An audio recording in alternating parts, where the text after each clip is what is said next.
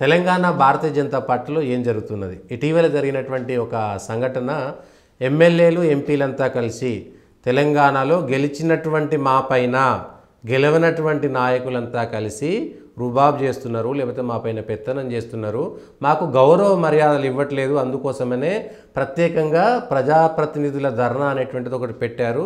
ఇది కొత్త రకమైనటువంటి సంప్రదాయం భారతీయ జనతా పార్టీలో అనేటువంటిది ఒకటి వినబడుతుంది. నిజమా కాదంటారా? ఇవి భారతీయ జనతా పార్టీలో అందరికి తెలియని సత్యం అందరికి తెలిసిన సత్యం.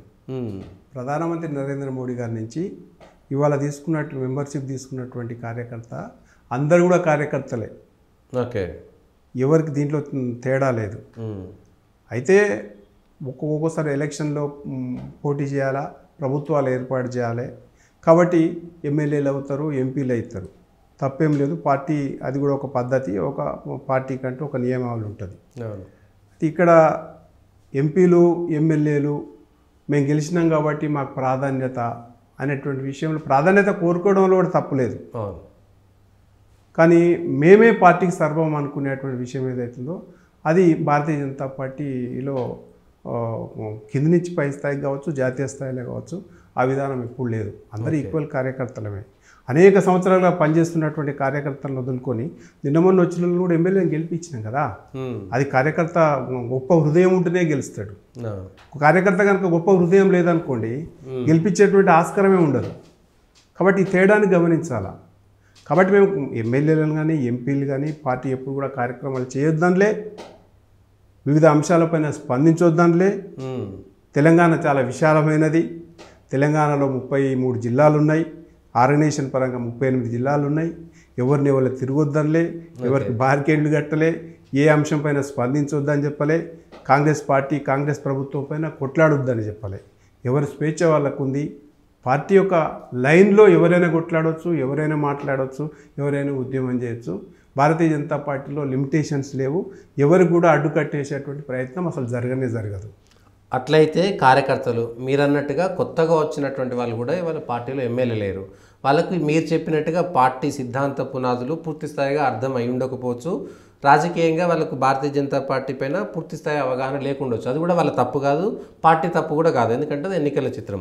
అయితే గతంలో ఇట్లాంటి వాళ్ళందరికీ కూడా రాజకీయ శిక్షణా తరగతులైనటువంటివి ప్రత్యేకంగా భారతీయ జనతా పార్టీలో పెట్టేది. ఎంత పెద్ద నాయకుడైనా ఆ శిక్షణా తరగతులకు మూడు రోజుల రెండు రోజుల ఖచ్చితంగా హాజరవ్వాల్సింది. కానీ అట్లాంటి ప్రక్రియ ఆ విధానం ఇప్పుడు భారతీయ జనతా పార్టీ ఎందుకు వదిలేసింది మరి? ఎక్కడ వదిలేదు సతీష్ గారు మీరు మీరు మీకు అన్ని విషయాలు తెలిసిన తర్వాత కూడా మాట్లాడుతున్నారు. నేను విషయం నేను చెప్పినాక వినాలా? ఇవాళ మెంబర్షిప్ జరుగుతూ ఉంది. మెంబర్షిప్ జరిగిన తర్వాత కమిటీలు కొత్త కమిటీలు బూత్ స్థాయి నుంచి ఆల్ ఇండియా స్థాయి వరకు కమిటీలు ఎన్నుకుంటారు. కమిటీలో ఎన్నుకున్న తర్వాత త్రీ మంత్స్ శిక్షణ ఉంటుంది.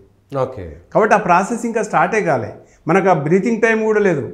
ఎమ్మెల్యే ఎలక్షన్స్ ఎంపీ ఎలక్షన్స్ తర్వాత ప్రభుత్వాలు తర్వాత మెంబర్షిప్ తర్వాత కదా జరిగేది. ఆ ప్రక్రియ రాకముందుకే మనం ఆలోచన చేస్తే అట్లా పార్టీ కంటే ఒక పద్ధతి ఉంటుంది పార్టీ కంటే ఒక నియమావళి ఉంటుంది. దాని ప్రకారం మనం జరగాలి కానీ మనం ఎప్పుడు అనుకుంటే అప్పుడు శిక్షణ ఎప్పుడు అనుకుంటే అప్పుడు ఎలక్షన్స్ వస్తాయా?